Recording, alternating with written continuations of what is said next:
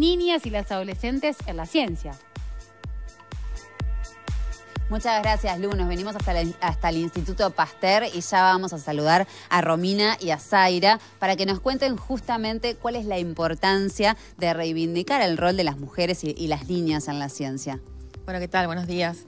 Eh, bueno, sí, justamente es importante porque venimos de una cultura en donde las mujeres han quedado relegadas un poco en el desarrollo de eh, actividades relacionadas a las ciencias y de alguna manera lo que estamos intentando hacer con eh, esta fecha del 11F es incentivar más que nada a las niñas a que puedan ser libres de elegir la carrera que les gusta, sea ciencia, sea tecnología, ¿sí? que en realidad cualquier eh, carrera que uno siga no depende del sexo ni del género, sino de lo que a uno le gusta hacer y para lo que uno se va formando.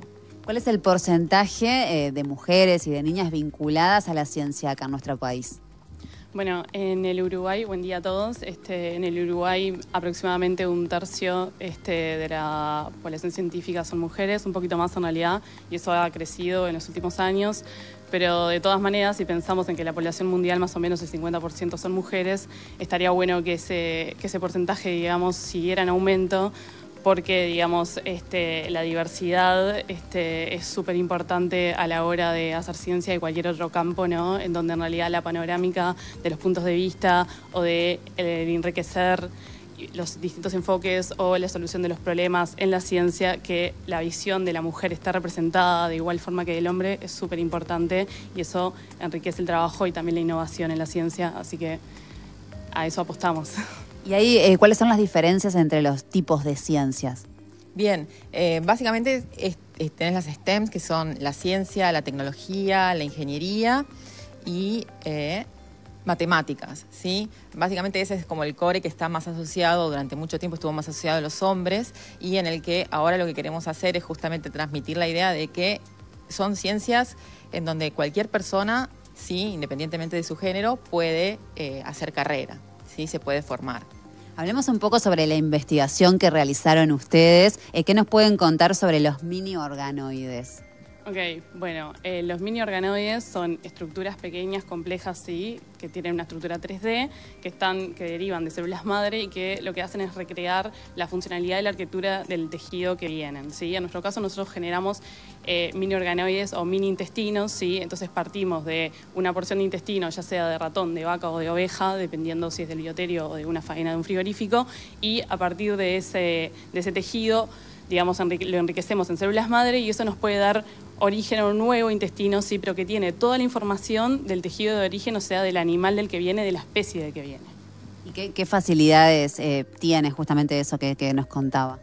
Bien, esto lo que nosotros nos permite es tener un modelo, y nosotros le decimos in vitro, en realidad es un modelo con el cual podemos trabajar en el laboratorio de un tejido. ¿sí? En vez de trabajar, por ejemplo, con el animal entero, cuando uno quiere investigar algo relacionado con el intestino, en nuestro caso, lo que nosotros podemos hacer es pasarnos a este modelo in vitro que nos permite tener en una cabina de flujo, en un laboratorio, ¿sí? una gran cantidad de este material para poder trabajar. Y te, pregunto qué otros avances o descubrimientos eh, eh, lograron mediante esta técnica.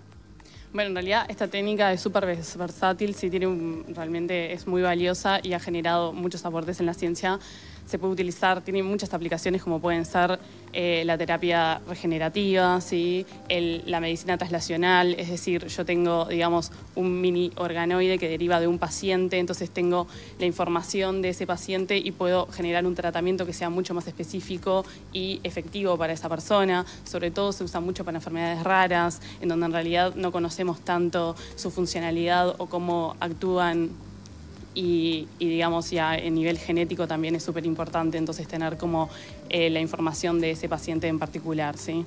Volviendo un poco a lo que hablábamos en el inicio de, la nota, eh, ¿hay actividades que ustedes promueven eh, justamente para lograr el interés y captar cada vez más niñas interesadas en acercarse a la ciencia?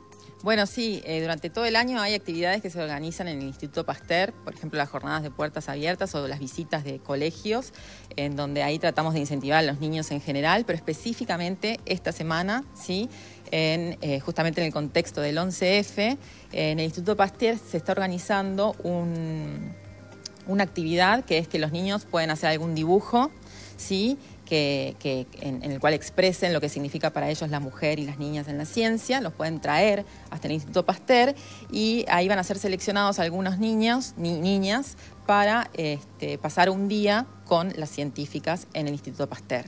Sí, toda la información está en la página web Bien. del instituto, así que los invito a que, a que entren a la página y busquen esa información. Eh, solo les digo, como para apurarlos un poquito, que tienen tiempo de entregar el dibujo hasta el 15 de febrero, este jueves sería. ¿Cualquier niño se puede anotar o, o es solamente las escuelas? No, no, es para niñas o pueden ser grupos de una niña y un niño, Bien. ¿sí?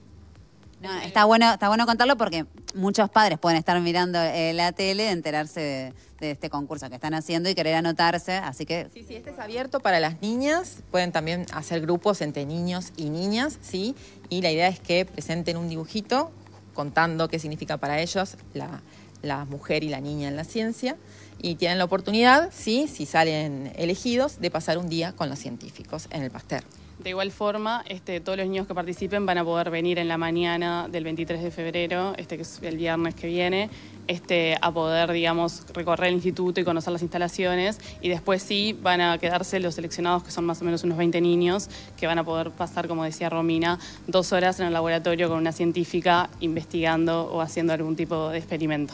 Muy buena la iniciativa. Muchísimas gracias a las dos por estos minutos. Bueno, muchas gracias a ustedes. Gracias a ustedes. Está bueno esto que hacen. En realidad ya es como parte del cambio, ¿no? Poder fomentar Claro. y divulgar la mujer en la ciencia. Gracias. Muchas gracias. Bueno, nosotros cerramos desde acá, volvemos con ustedes. Bien,